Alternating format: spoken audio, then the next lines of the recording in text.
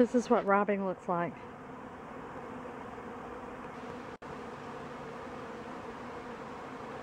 The bees are fighting with each other. You can see clumps of bees dropping to the ground. I have the whole hive closed up.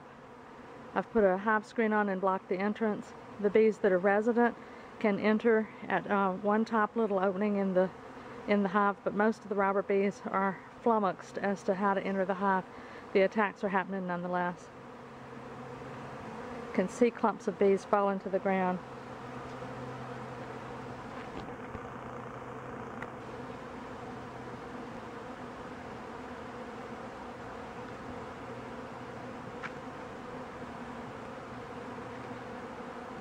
From this angle you can see that at the very top of the robber screen there is a way for resident bees to go in.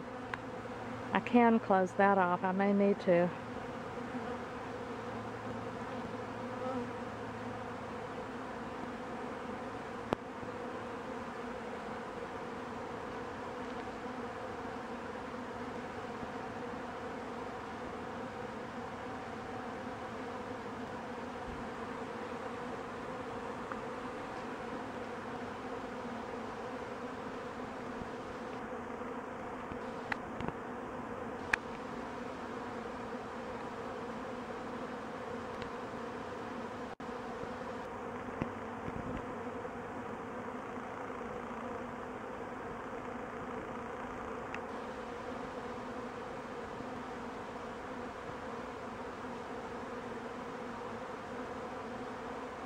Rain would help right now. It feels a little bit like it might rain in a little bit.